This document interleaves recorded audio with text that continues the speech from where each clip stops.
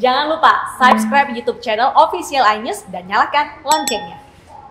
Joseph Paul Zhang telah berstatus tersangka dalam perkara penistaan agama. Joseph diketahui mengunggah sebuah video yang menyatakan dirinya Nabi ke-26.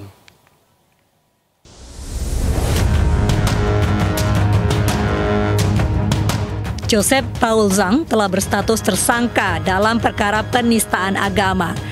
Joseph diketahui mengunggah sebuah video yang menyatakan dirinya Nabi ke-26.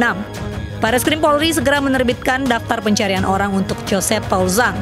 Polisi berkoordinasi dengan Kementerian Luar Negeri Imigrasi dan Interpol untuk melacak keberadaan Joseph Paul Zhang yang diduga berada di luar negeri. Hingga saat ini, status Joseph masih sebagai warga negara Indonesia yang bersangkutan ditetapkan sebagai tersangka dalam hal ini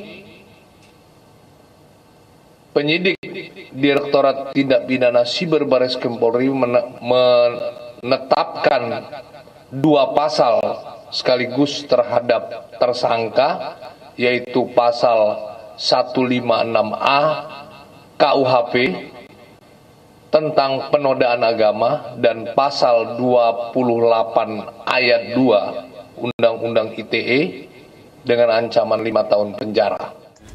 Menanggapi sikap polisi, Zhang kembali mengeluarkan tantangan yang diunggah lewat akun media sosialnya. Tapi didoakan aja supaya pemerintah punya hikmat ya untuk pemerintah diberi hikmat untuk menyelesaikannya.